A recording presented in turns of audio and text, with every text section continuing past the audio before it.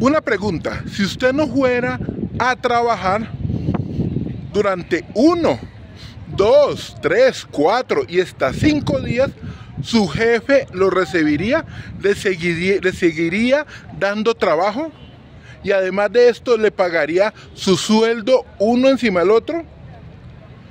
No sé, pero la realidad es que en Colombia existen las famosas vacas sagradas. Existen personas que ni siquiera van a trabajar y, se, le cuestan al país al año, escuchen bien, al año, más de 1.200 millones de pesos. Y esa es la realidad. Bueno, para que entiendan un poquito el contexto, miren el video hasta el final. Y no olviden suscribirse a mi hijo, E Ave María. Bueno, resulta que en la constitución del 91 se crearon seis curules o seis puestos, seis puestos en el Congreso de la República. Un puesto iría para las comunidades indígenas a la Cámara de Representantes. Dos puestos para el Senado de comunidades afrodescendientes, eh, indígenas, perdón. Y dos puestos, sí, en la Cámara de Representantes para las comunidades afrodescendientes. Pero también hay, habría un puesto para los colombianos residentes en el exterior. La idea de crear estos puestos en el Congreso era principalmente para que estas comunidades pudieran debatir programas y proyectos que beneficiaran a sus comunidades y que al mismo tiempo y que al mismo tiempo pudieran debatir programas y proyectos que estuvieran a favor o en contra de estas comunidades. Ese, ese era el objetivo principal de estas curules.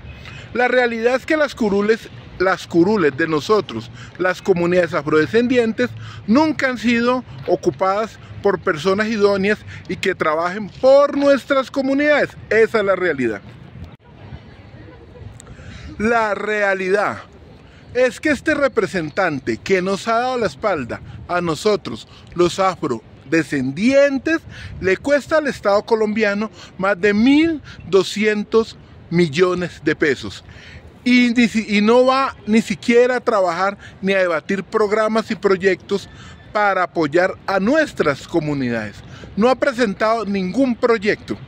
Este representante lastimosamente podría volver a, volver a repetir curul debido a, que, debido a que tiene el apoyo de la congresista más votada del centro democrático, que se llama María Fernanda Cabal. Ya sabrán de quién me estoy refiriendo, a Miguel Abraham, Polo Polo. Y digo que podría lastimosamente repetir curul porque el candidato que se atreva a enfrentarlo en las elecciones del 2026 tendría que tener un caudal electoral de más de 100 millones de votos. ¿Qué opinan ustedes como con, esto?